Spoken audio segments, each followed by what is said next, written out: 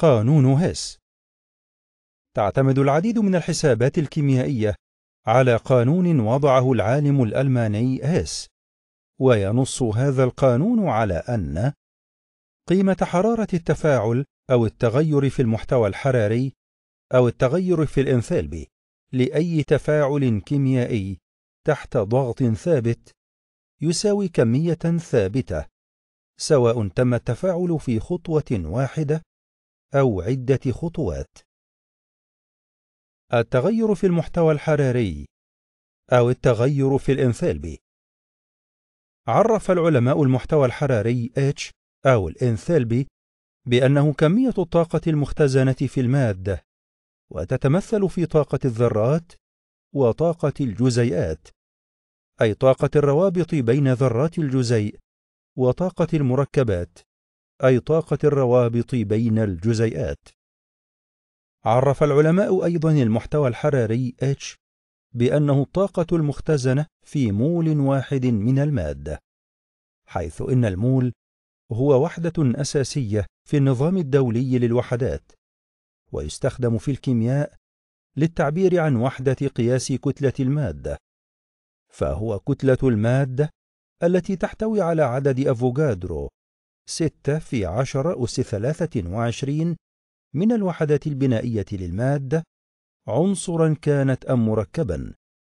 فلو أردنا تعريف المول لكل ذرة فنستطيع القول بأنه كمية من العنصر كتلتها مقدرة بالجرام وتساوي عدديا الكتلة الذرية النسبية له وتحتوي على عدد أفوغادرو من الذرات. فعلى سبيل المثال بالنسبة لذرة الكربون فإن كتلتها الذرية 12 جراما. لذا فإن واحد مول من الكربون يساوي 12 جراما.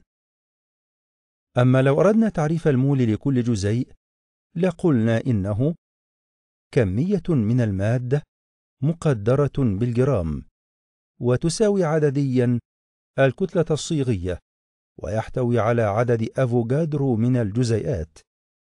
فمثلا بالنسبة للماء فإن الوزن الجزيئي له يساوي اثنين في واحد زائد ستة عشر يساوي ثمانية عشر جراما. إذن واحد مول من الماء يساوي ثمانية عشر جراما.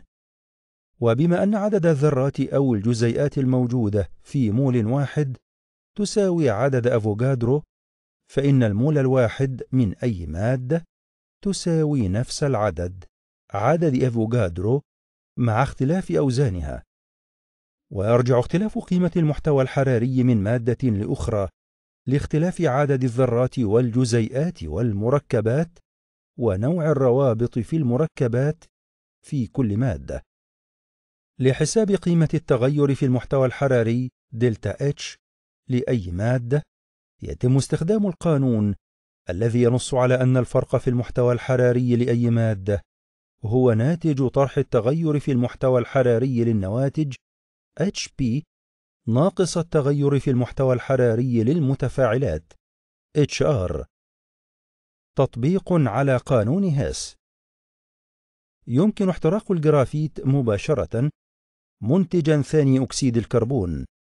أو عبر عدة خطوات حيث ينتج أولا أول أكسيد الكربون ثم ينتج بعده ثاني أكسيد الكربون. فيكون انثلب التفاعل الكلي في الحالتين متساويا. وهذا هو قانون هيس.